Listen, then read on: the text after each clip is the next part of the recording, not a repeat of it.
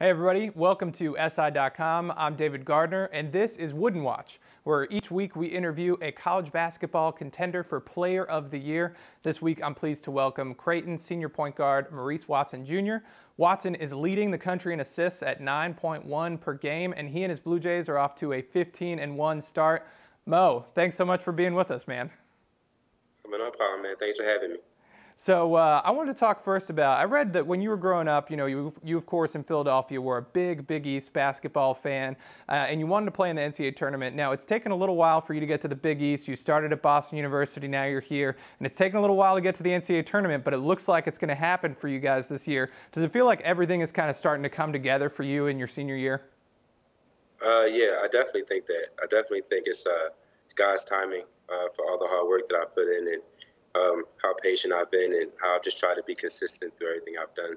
Um, and just try to, you know, follow the path. Um, I know that everybody's journey isn't the same, and um, I just wanted to keep working hard to achieve my goals. And um, it looks like this year they're going to happen, and um, I'm just going to keep making hard, uh, keep working hard to make sure that, that they do happen. Now, I know you grew up a Villanova fan, uh, and you're 0-3 against the Wildcats since you got to Creighton. I hate to bring that up, but you have one more chance late February to win. Is that the kind of game that would mean more to you than just a regular Big East game, or do they all kind of go the same? Uh, I mean, that game kind of goes as every other game goes. Um, I try to leave it out there every time I get on the court. Uh, but to beat a team like Villanova means more for the program than it would uh, for myself, just because they're some champions. They're number one in the country uh, at you know multiple points in um, of the season. So uh, to be able to get that win for the program is what means more to me. Um, you know, I think last year it would have, but I think that's just um, what I've been trying to be more focused on this year is um, me playing for the team and you know putting everything into the program and you know letting all the success that falls my way happen um, just as long as it stems from the team. Now, I've heard you say in interviews a lot that you're out to prove your doubters wrong. You know, you're a small guy at 5'10", you're 160 in high school. Uh, is, is that still something that drives you? Do you still feel like you have that chip on your shoulder? Or since you're leading the country in assists and you're playing in a power conference, does that make you feel like you've really arrived? Uh, no, it, I mean, I'm still hungry. I'm as hungry as I've ever been. Just because, I mean, I see all the, you know, the way I play and, uh, you know, the success that I have, you know, there's still doubters out there. There's still you know, there's not like I'm, you know, high on any draft boards or anything. You know, there's still things I need to improve um, to people, and there are things that of my game that I need to improve, so that when I do go talk to them, people that there's no um, there's no negative thing they can say. Um, so to be honest, I just use everything as you know motivation to keep working harder. Um, I don't want to you know let the success you know stop me from you know working harder. I like that I have it, so it makes me want to you know work ten times as hard to make sure that it keeps happening. And I hope my teammates sees that too. That way, you know, they can follow behind and you know see how the work ethic and you know how listen to the coaches and how you know just you know you know just waiting your time and um, you know letting the chips fall where they may um, and let things work out for you that way. Now, your coach, Greg McDermott, was talking to our own Maggie Gray earlier, and he said he challenged you at the beginning of the season to lead the country in assists, and he didn't expect that you'd be able to do it. And not only are you leading the country in assists, you're averaging more than one assist per game, better than the guy in second place. How did you respond to that goal when Coach McDermott gave it to you? And has this success so far even surprised you? Uh, no, not at all. Uh, you know, I felt like it was going to be easy when Coach Mack challenged me to that, and that's because I saw how hard my teammates had been working.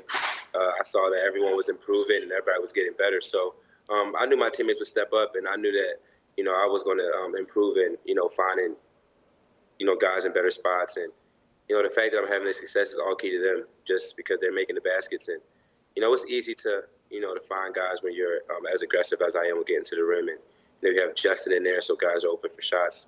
Um, and then when you run, you know, teams wear down and get tired. You know, it's easy when we can, you know, be in good shape. That's also a testament to what we do off the court. You know, that we're, you know, keeping our bodies up and we're doing the right things. Um, so, you know, it's another challenge. You know, even though coming from my head coach, it was something that I wanted to step up and um, and beat that task.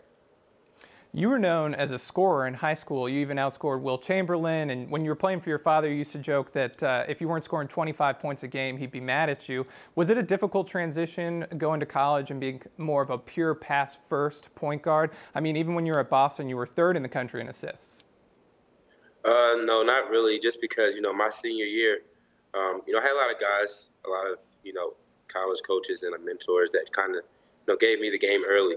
Um, and a lot of guys told me that I needed to start to prepare for the next level. And in high school, college was the next level I needed to you know get ready for it. So my senior year, I kind of I mean I really only averaged 21 that year, and I averaged seven assists just because I wanted to start to prepare myself to you know lead a team, and um, that was actually one of the best years we had.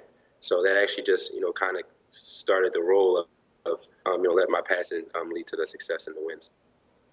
Now, most people know you as Mo, but you have another nickname that you actually prefer. Could you tell us the story of how you got the nickname Doo-Wop and why you like it so much? Uh, yeah, uh, I have no problem telling that story. uh, yeah, I just, uh, I really grew up just idolizing Allen Iverson, and you know, I got to meet him um, in Philadelphia. Uh, you know, back where I'm from, uh, he was at a picnic, and you know, we were playing catch with the football, and you know, I was heckling him all day, and he ended up, you know, watching me play one on one against somebody. Um, I lost the first game, and you know I won the second one. And, you know, he just took me out to get some food, and you know, kind of just you know told me that I reminded him of a shorty doo-wop. I was crying after I lost one of the games. You know, that was my you know I was only 12 or so, so you know, I was really emotional, and um, I didn't want to lose in front of my favorite player. So I wanted everybody to call me doo-wop after that. Um, Cause I went to a Sixers game and he didn't forget. You know, he still called me that name. So uh, even when the, you know my freshman sophomore year in college, I just hated when announcers would call me Mo. I just you know prefer WAP my mom will call me WAP. Well, she never really does. You know, she has another name for me, but you know, a lot of people call me WAP, and I just you know I like that name to stick with me. Well, now I have to ask, what's mom's nickname for you? Uh, uh she calls me Boom. How come? Her, uh, her and Grandma. How come she calls you Boom? I have no idea. I don't remember. have you talked to Allen Iverson since uh, he recognized you on the court down there? Uh, yeah. You know, I frequently go to Sixers games. Um, I used to play for his old uh, his old manager, uh, Q Gaskins. He ran uh, the Raiders program, and I played for them a couple years. Um, so you know, I got to you know kind of talk to him. Um, but you know, with all the stuff going on, and um, you know that he was going through back then in those times, and how he's you know was trying to recover his life, and now he's going through all this success. You know, I, I don't want to be one that's you know it's going to bother that. You know, I have my own things I need to work on also.